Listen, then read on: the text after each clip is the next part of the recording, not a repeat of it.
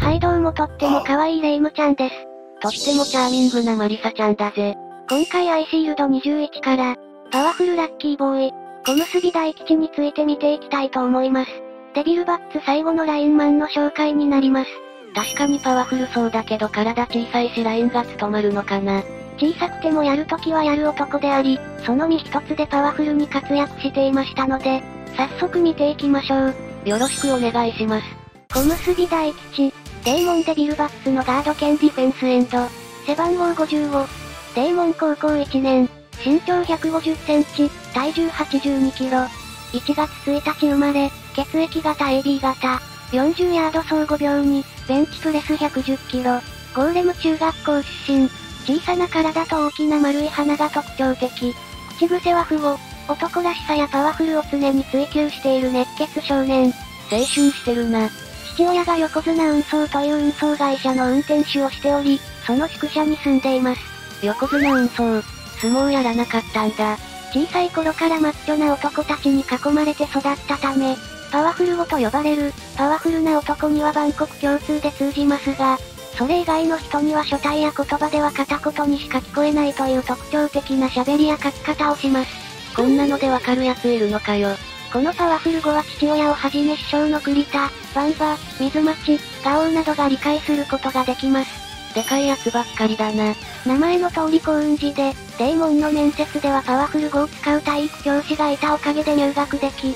アメリカのカジノでもフィーバーを連発。同じチームの栗田洋館に憧れており、栗田を師匠として慕っています。ハーハーさん兄弟とは栗田とのパワーバランスなどが起因してライバル意識を常に燃やしていました。ふん。非常に努力家でありながらも背が小さいことを気にしており、一度はアメフト部を退部しそうになったこともありました。そんな時期もあったんだ。小結大吉は小さい体ながらもパワーが凄まじく相手に押さえつけられても弾き出す力を持っていたり、横からタックルすることで相手を吹き飛ばしてしまいます。技は身長差を生かして相手の懐に潜り込み、肘で勝ち上げるリップを得意としています。東京大会3位決定戦から小回り抜群強力豆タンクの紹介文が付き、昼間からはファッキンデブシュニア、十文字たちからは赤っ鼻フゴデブ、鈴名からは小結ビッチ、水町からはおむすびっちと呼ばれています。師匠同様ひどい扱われようだな。続いては作中の活躍について見ていきたいと思います。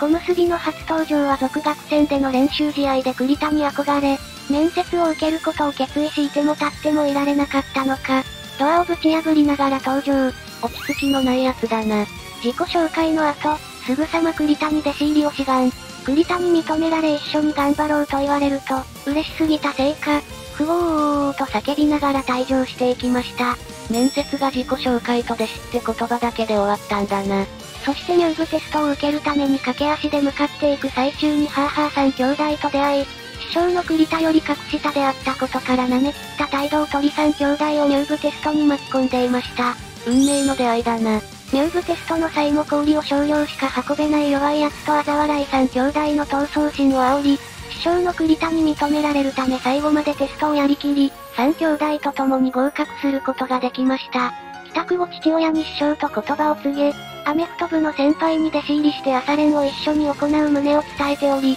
父親からは師匠が誇りたくなる弟子になれ、途中で逃げたらぶっ殺すと覚悟を決めさせていました。なんであれだけでわかるんだ。そしてデビュー戦となるスフィンクス戦では超重量級のラインマン相手に実力が出せず、開始序盤青点を食らう羽目になっていましたが、ハーハー三兄弟の不良殺法による活躍を見て、自分が弱いと認めたくなかった小結びは、ボールの取り合いで密集しているところを小さい体をねじ込みボールを奪い取り、何を思ったのかわかりませんが、そのままボールを適当に放り投げる離れ技を披露。すっぽ抜けたんかな。じゃないと珍プレーすぎる。記者もびっくりのデビュー戦となっていました。書いた記事が気になる。エイリアンズ戦では小弁と対決。小弁。ラインの見せ所のスイープを成功させるため、勝って師匠に認めてもらうために、驚異的な粘りを見せつけ、さらにハァハァ三兄弟たちを挑発。やるな。見事にスイープを成功に導く活躍を見せていました。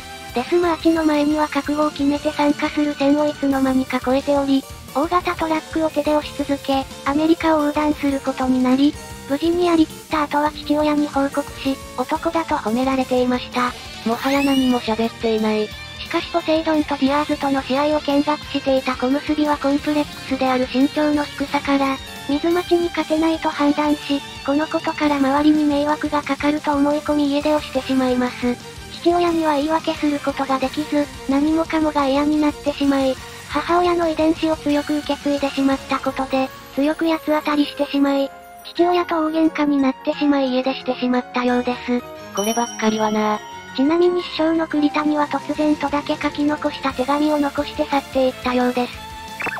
書いてねえだろ。家出した小結は途方に暮れる中、首を吊ろうとしていると思って止めにかかったセナの突然のタックルにも瞬時に受け止め、セナからすごいと言われ、自分が必要とされていることに気づき、その後、三兄弟の荒っぽい祝福を受け、見事に復活を果たし修行を再開することを決めていました。そして水町対策としてモンタの提案により、セナとモンタで肩車をして仮想水町を作り上げていましたが、使い物になるはずもなく一撃で吹き飛ばしていました。サルジエじゃ無理だ。しかしこのことから立ち会いが鍵を握ると踏んだチビーズは、相撲の大会に参加することを決め、水町対策を行うことを決行。試合を見事に勝ち進んでおり、次の対戦相手が身長のある相手で、仮想水町としてはぴったりの相手であり、上から押しつぶされるだけかと思われましたが、下から腕で相手の体重を支えるという強靭な足腰と腕っぷしを見せ、そのまま放り投げ勝利を奪っていました。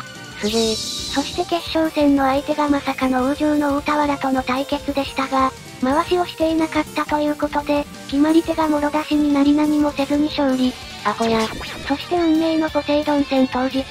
臆することなく小結は水町に宣戦布告。水町の行ったパフォーマンスに対して、自らも己の力を見せつけて対抗していました。試合開始序盤全力でタックルに行き水町を吹き飛ばしていました。これにより本気を出した水町は、スイムを利用し小結をうまくかわしながら潰していました。その後もスイムに対抗できずにいましたが、セナやモンタに励ましの言葉を受け諦めることはなく、逃げないことを宣言。頑張ってくれ。そして父親からも熱い言葉を受け取っており、腕っぷしという言葉からあることを思いつきます。再び水町と相まみえ自ら見つけ出したリップというテクニックを利用し、相手の斜め下に潜って腕と肘で勝ち上げようとしていましたが、水町は体格差を生かし潰しにかかろうと全体重を乗せてきます。まあ当然そうなるよね。しかしここまで自分のために頑張ってくれた仲間のため、勝ってチビでもやれるということを証明するために、渾身の腕っぷしで水待ちを下から勝ち上げて吹き飛ばしていました。これには父親も母親も誇りに思うほどの活躍だったようです。これはいいシーンだな。心に染みるわ。その後もスイムには苦しめられたものの、スイムの弱点を突き水待ちをブロックし続けることができていました。そして試合終盤チビーズでデビルバットダイブを成功に導く、第3のロケットとして水待ちにタックルを見事に決め、チームを勝利に貢献し劇的な大楽天勝利をもたらしていました。三兄弟の言ってたことが現実になったな。試合後は水待ちに熱いとパワフル語で伝え、また来年戦うことを誓っていました。新竜寺ナーガ戦では、オンサイドキックをその小さな体を活かしてボールを奪い取る活躍を見せ、関東大会決勝前にはガオーとパワフル語で話し師匠の凄さを分かち合っていました。こやつもわかるのか。そしてダイナソーズ戦では、相変わらず3兄弟との喧嘩が絶えない中でしたが、ガオーの栗田に対する一言により、ハーの4段活用を見せていました。